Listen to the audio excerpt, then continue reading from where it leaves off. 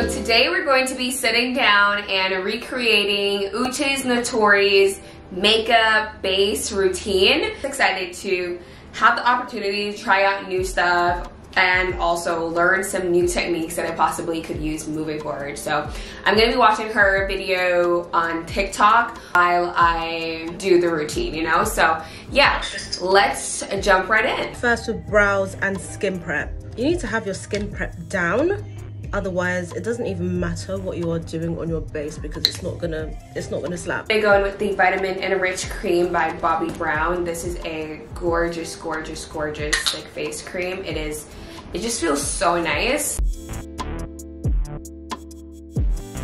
So she does first start out with a brow freeze. I don't have the exact one that she used, but I'm gonna be just be going in with the, I'm sorry, the ABH brow freeze here sure is that I like to use, do this with my finger, but I just like scoop over the top.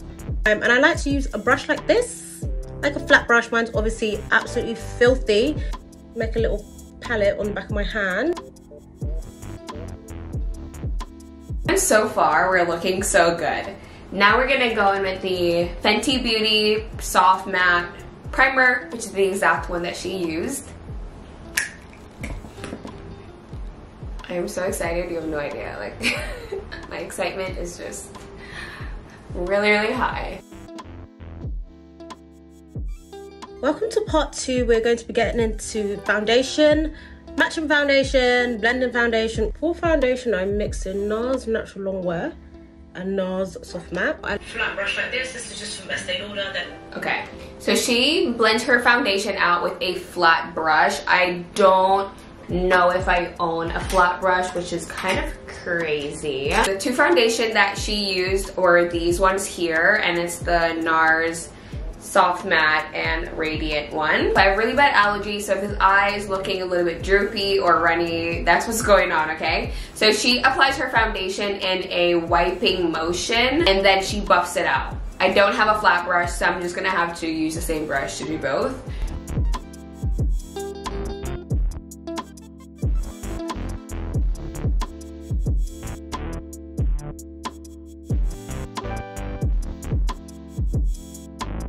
So she goes in with a pretty neutral concealer. Um, I don't know if neutral is something that's like something to note, but I am a neutral undertone person, so that's my that's my preferred um, concealer undertone. Um, so she does apply her concealer kind of like underneath the eyes to the sides of her nose here. So she did go a little bit below her nose length, so I'm gonna do the same thing. She then goes into bronze, and I don't have the same NARS cream bronzer that she has, but I've actually used that one before, and it is really, really, really good. It's okay, the Sephora sale is going on right now, so I'm gonna add it to my cart as soon as I finish this video. I have to go in with my Westman Atelier um, contour. Just put a little bit here, a little bit here, her eyes here. So she has way more space between her brows and her lids than I do. So I can't really do the exact placement. So I'm kind of like improvising at the same time. Chill in to really bring that shape. And she blends with a pretty small concentrated brush. So we're gonna do the same. She said she recommends using something really, really small because it helps to just keep the product in those areas, keep things nice and clean. And I'm a little bit nervous now because this is kind of like where I, you kind of lose me. See, right now the concealer is touching the bronzer, like I don't know why. Exactly where I. I added a bit more product. Now started blending out her under eye concealer. And she said that she likes when her concealer sits like this because it doesn't move around too much and I definitely get that. I get that 100% because it is not moving. It is definitely staying in the areas that we placed it. I'm using a Iconic Beauty blush um, brush here to blend out the concealer. It is a concealer brush. If and when I do this again, I will use less concealer just because I have a lot of product right now to work with. A lot. And I don't really think I needed this much. Oh my gosh, I'm nervous. See, this one blended out more my brush to just...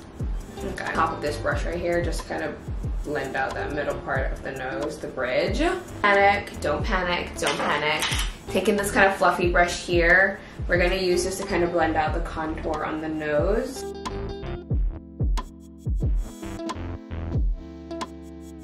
Video gives me like learning to do makeup for the first time vibes. I know she does this or not, but I need to do this. I need to just go back in with my foundation brush just to kind of blend those lines out um, because they are a little bit, they are a lot.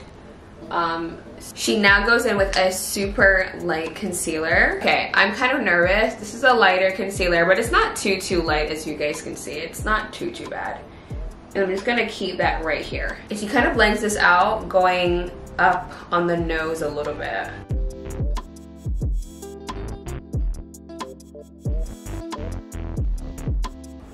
Which honestly, I don't know if you guys can tell on camera, but that definitely did something.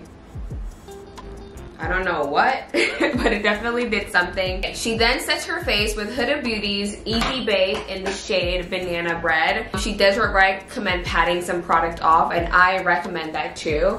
This powder is not for the weak. As much as it's like a light powder, it does adjust or kind of like blend into the skin. Whether you're dark skin, whatever your shade is, it's a really great powder. Does she put it anywhere else? In different ways. Take it here, because I like to look matte. I'll bring my life back in with bronzer. She says she doesn't mind if it gets everywhere because she likes to bring her light back in with bronzer. She then goes in with a bronzer. I don't know she goes in what bronzer she goes in with, but I'm just gonna, or if it's cream or powder. So I'm just gonna go in with my bronzer using the Patrick Ta palette again. And I'm just using the powder to the um, cream. And I'm just, just gonna keep it pretty high as well. I think she definitely does that. Then goes in with a one size powder. I'm just gonna cut off a little bit on the back here. I actually love the packaging of this as well. I feel like it makes it really easy to use the product and prevent that mess with the clear lid. So she does use this powder to, to brighten the face but she also pats it on the back of her hand, which I'm definitely going to do too because I'm scared. Okay, let's just apply this. Ah! Wow, it's actually really brightening. Listen, I've wanted the UK girl under eye for so long and this is how they get it. Okay. She said to take your bronzer brush, whatever brush you use for your bronzer, and just go back over those areas, like the edges, to make sure that everything is blended. I think this might be the end of her base routine. This took me like 35 minutes to do and it looks really really good in my opinion so just said that she fills in her brows a little bit she kind of forgot to do this at the beginning but i'm gonna do that too although i have my brows micro shaded sometimes i do forget to fill them in as well not that i need to but i do like when they look a little bit I don't know, like stronger. I love a strong brow. She does go in with a setting spray to kind of like blend the powders out a little bit because we did use a lot of powder.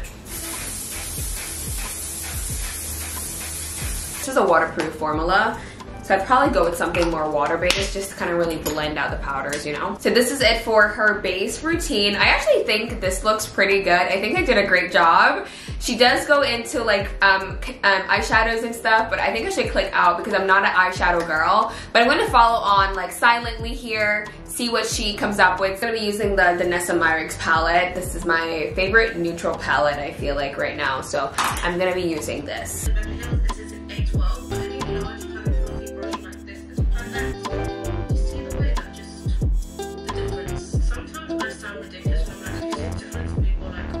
Gonna stop um, with, with the tutorial here just because her eye look is, I didn't realize it was a lot more vampy than I like prefer. So I'm just going to stop here. Um, she did do a, a nice little neutral base, which I meant to follow, but I did it all wrong, but it's fine. I'm just gonna keep the brown in the crease and apply a little neutral tone like eyeshadow. Using my Valentino Beauty eyeliner, I'm gonna use this for my mole and my winged liner. I'm gonna do a very skinny line. YSL Beauty mascara. If you know, you know. Everyone's been asking me about my lip combo from my previous video, my hair routine, and it's a MAC chestnut lip liner.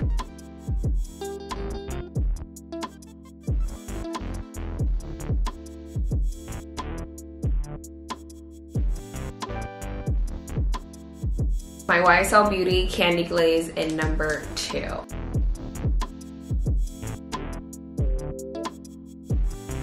Alright guys, I think we're finished. I think we're finished. Definitely see a difference in my face and by using her techniques, whether it be blending or like the brush usage, and also the products that she used too. They are really, really good and they work really well with each other. Love the results for sure. Very subtle, but very sultry and more refined, I think. Do you like it? Do you think I should keep this routine going? Would you try this routine out? let me know what you guys think down below because I'm obsessed.